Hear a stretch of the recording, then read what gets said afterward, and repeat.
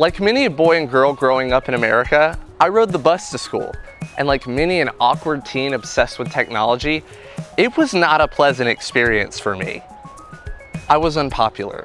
At the height of embarrassment, my Et tu Brute moment came in the form of the bus driver joining in on the humiliation. Et tu, Lucinda? I thought we were friends. Clearly I hold a grudge to this day, which is why this day is so special to me. I'm about to ride a bus with no driver. The company Local Motors is testing out an autonomous shuttle named Olli at California State University in Sacramento.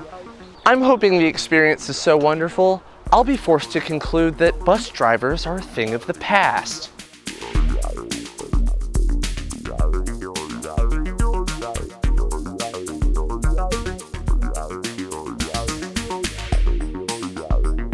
Behold, Olli, this beautiful autonomous shuttle tops out at a smooth 35 miles per hour and much like a school bus driver is not afraid to pump those brakes. But isn't that the wonder of it? An artificial intelligence smart enough to understand when to slow down, when to stop, and most profoundly, when it's okay to continue onward? An onboard safety tech told me in the months he's been working with Olli, the only problem he's seen is that maybe the shuttle is too safe. Oh, the stewards. Though their presence at first might seem like Oz's man behind the curtain, they're really only here for peace of mind, to bridge the gap between AVs and humans. State and federal regulations still require a human presence on board any autonomous vehicle, but Olli is totally capable of operating by itself. Plus, it's definitely a perk to have someone on board to answer your many questions about how this robotaxi works. Like, how was it 3D printed?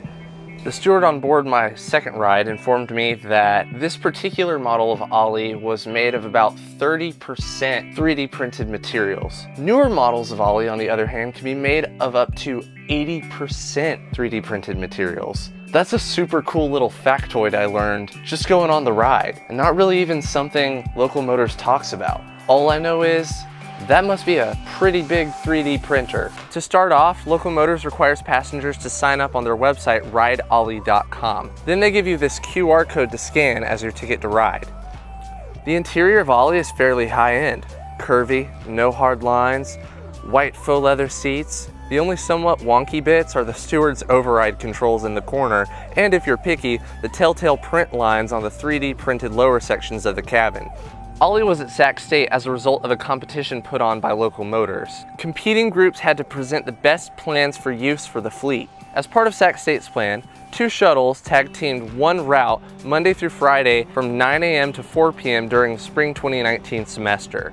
The kind people at Local Motors told me the deployment of Olli at Sac State has been a success in that it shows students and faculty the technology is here, it can be trusted, and is a reliable look to the future to reinvent the ride.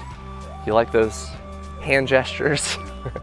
Thousands of riders have gotten to experience this eight-person shuttle at Sac State in the last three months alone.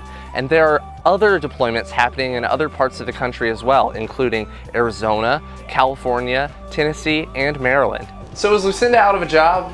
Maybe not quite yet. But the technology is advancing at a rapid rate, and I'm here for it. So here's a toast to the robot overlords of our future. I don't drink, especially not in public. That's illegal.